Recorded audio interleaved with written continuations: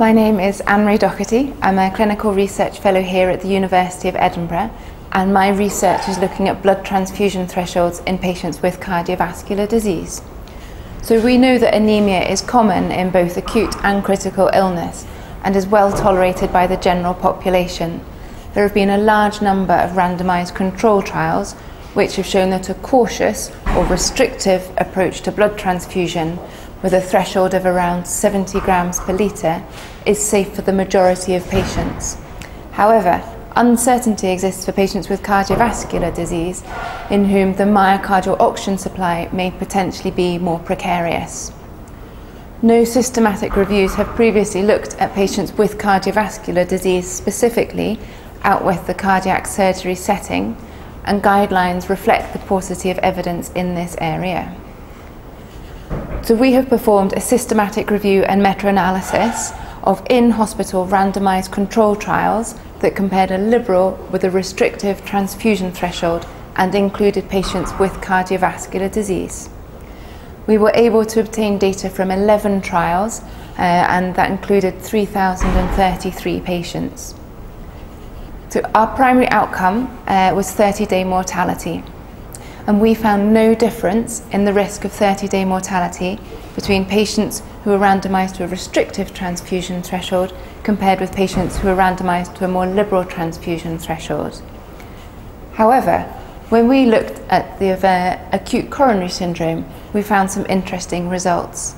We found that all trials had an increased rate of acute coronary syndrome in the restrictive transfusion threshold compared with the liberal transfusion threshold. And when we combined these results, we found an overall increased risk of 78% of increased ACS in the restrictive transfusion threshold compared with a more liberal transfusion threshold.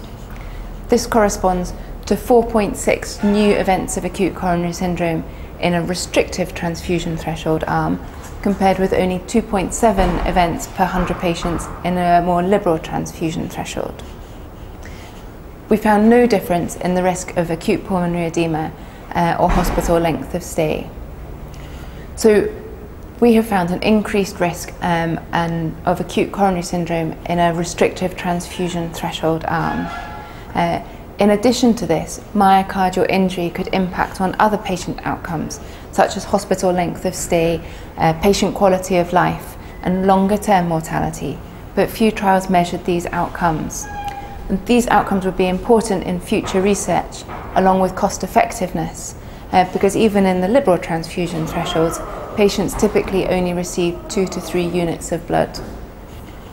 So, in summary, we have performed a systematic review and meta analysis of blood transfusion thresholds in patients with cardiovascular disease, and we have found an increased risk of acute coronary syndrome in patients who are randomized to a restrictive transfusion threshold.